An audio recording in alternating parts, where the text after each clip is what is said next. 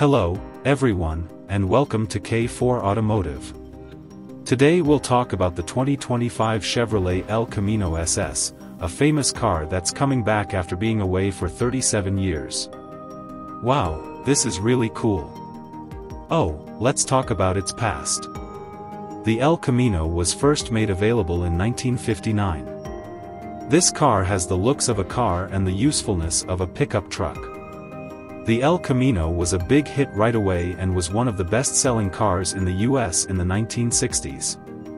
So, in 1964, Chevrolet released the El Camino SS, a version of this car with a lot of power.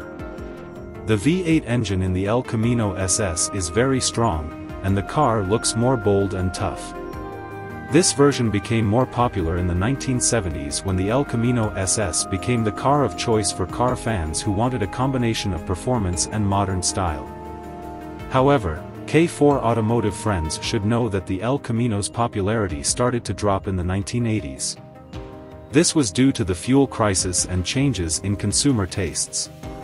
In 1987, Chevrolet stopped making the El Camino, which is a shame.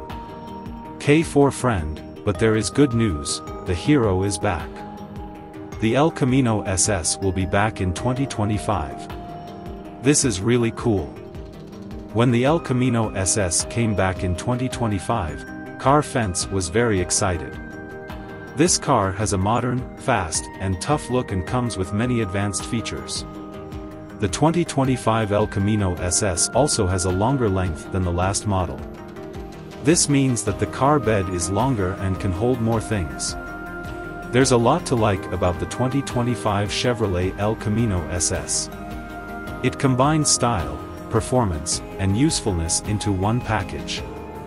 The 2025 El Camino SS is sure to be a hit with car fans, but hard fans will have to wait until 2025. Thanks for watching the video from K4 Automotive. Yes, are you interested in the 2025 Chevrolet El Camino SS? If so, write in the comments box which version you like best.